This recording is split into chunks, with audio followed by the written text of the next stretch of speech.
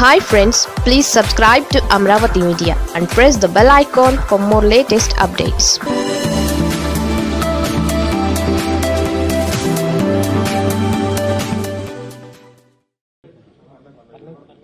రెండు వేల పదహారులో రికార్డ్స్ని అంతకు ముందు వరకు ప్రాపర్ టెంపుల్ ప్రాపర్టీస్గా ఉన్నవి.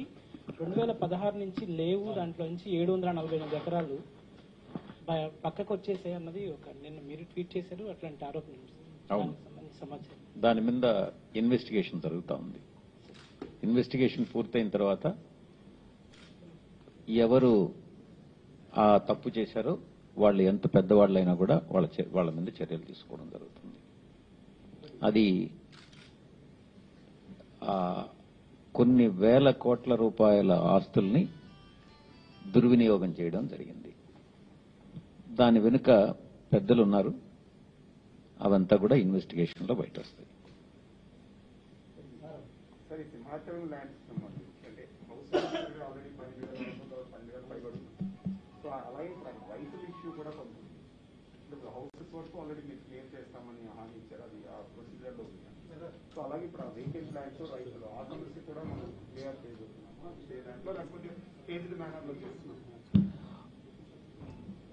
ఏదైతే కోర్టులో మనం ప్రపోజల్ పెండింగ్ ఉందో దాన్ని ఏజీ గారిని మెన్షన్ చేయమని చెప్పి అభ్యర్థించడం జరిగింది. గత సమీక్షా సమావేశాల కథనంతరం ఏజీ గారు బెంచ్ ముందు మెన్షన్ చేయడం జరిగింది. కోర్టు జూలై మాసంలో ఆ కేసుని విచారణకు స్వీకరిస్తుంది. కోర్టు క్లియరెన్స్ వచ్చిన తర్వాత కోర్టు ఆదేశాల మేరకు అక్కడ ఎవరైతే ఇప్పుడు నివసిస్తా ఉన్నారో వాళ్ళందరికీ కూడా రెగ్యులరైజ్ చేయడం జరుగుతుంది కోర్టు ఆదేశాల ప్రకారం.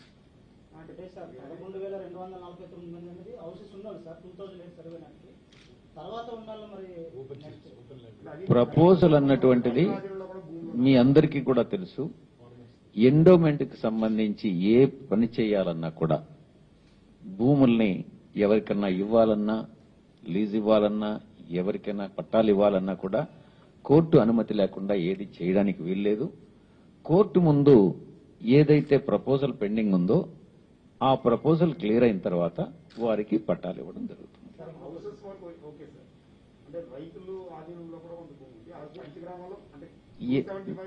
నా జవాబు చాలా క్లారిటీ ఉంది. కోర్టు ముందు కోర్టు ప్రమేయం లేకుండా ఏది కోర్టు ఆదేశాలు లేకుండా ఏది చేయడానికి లేదు.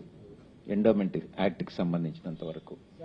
సో ఏది చేయాలన్నా కూడా కోర్టుకు ప్రపోజల్ ఇవ్వాలి కోర్టు దాన్ని ఆమోదించాలి ఆ తర్వాతనే ఏదైనా మనం చేయగలం.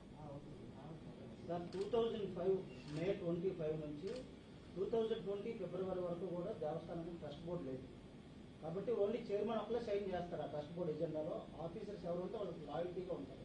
ట్రస్ట్ బోర్డు నిర్ణయాలన్నీ సమీక్షిస్తారు మీరు.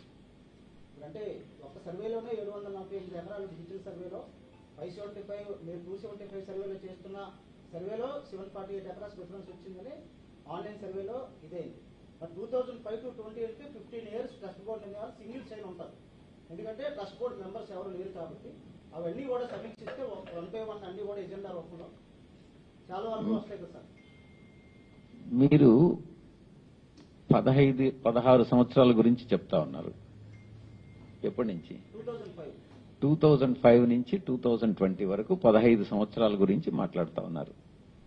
ఎస్టేట్ అబాలిషన్ యాక్ట్ అమల్లోకి వచ్చినప్పటి నుంచి ఇప్పటి వరకు దేవస్థానానికి భూములకి పట్టా ఇచ్చినప్పటి నుంచి ఇప్పటి వరకు అటు మానసాస్ విషయంలో ఇటు సింహాచల దేవస్థానం విషయంలో రెండిటి విషయంలో కూడా ఏమి అవకతవకలు జరిగాయి అన్నటువంటి విషయాన్ని చాలా స్పష్టంగా ఇన్వెస్టిగేట్ చేసి దానిలో జరిగినటువంటి అవకతవకలన్నింటినీ వెలికి తీయడం జరుగుతుంది. Ninety seven estate abolition act వచ్చి ninety fifty fifty six fifty seven fifty seven thank you